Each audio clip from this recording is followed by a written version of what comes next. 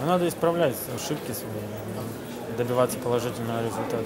Легко с любым соперником не будет, особенно на выезде. То есть надо ходить, биться, выигрывать. Ключевых моментов много было, то есть и этот один из них. Э, ну, чуть-чуть, наверное, не повезло, может, мастерства чуть не хватило. И сразу же мы получили второй гол. и Немножко раскрылись. Спасибо болельщикам.